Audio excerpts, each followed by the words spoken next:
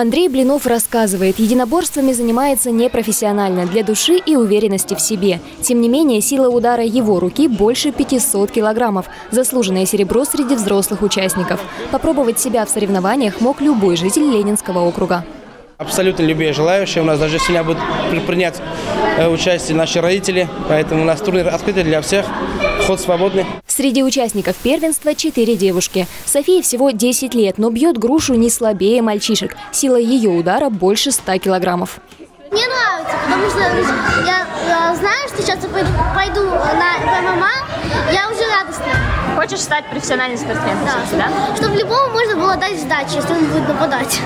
А Эвелине 15, и девушка уже мечтает о большом октагоне. Рассказывает, в будущем хочет выступать на ринге и тренировать детей.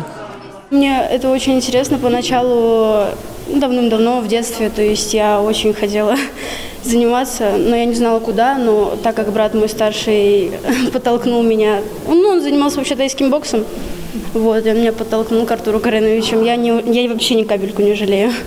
У каждого участника было по три удара рукой и ногой. Чтобы выйти в лидеры, недостаточно обладать большой физической силой. Тренеры рассказывают, здесь важно все. И поворот корпуса, и размах, и, конечно, психологический настрой на победу.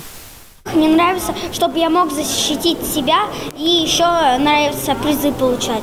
Уже пять медалей, ой, четыре медали и один кубок.